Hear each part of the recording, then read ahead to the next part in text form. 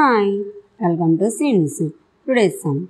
The circumference of the circular base of a cylinder is 44 centimeters and its height is 15 centimeters. Find the volume of the cylinder. So let's see the solution.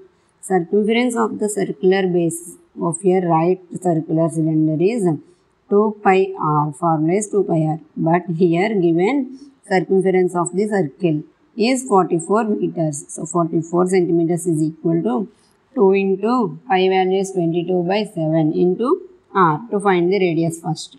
So here r is equal to 444 into 7 by 22 into 2. So here 22 cancels in 44 in 2 times. 2 2 is cancels. So radius is 7 centimeters. Radius is 7 centimeters. Now the volume of the cylinder is equal to pi r square h.